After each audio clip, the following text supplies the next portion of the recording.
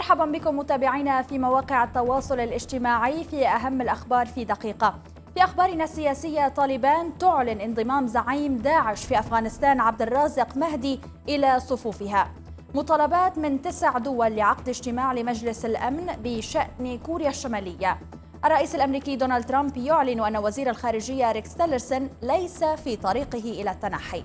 في أخبارنا المنوعة دولة الإمارات العربية المتحدة تحتفي بالعيد السادس والأربعين لقيام اتحادها الذي أقر يوم الثاني من ديسمبر من سنة 1971 وجوجل تشارك الإمارات باحتفالاتها. علماء من جامعة ديوك الأمريكية يبتكرون رقع نسيجية مخبرية جديدة تساهم في ترميم عضلة القلب بعد النوبات القلبية.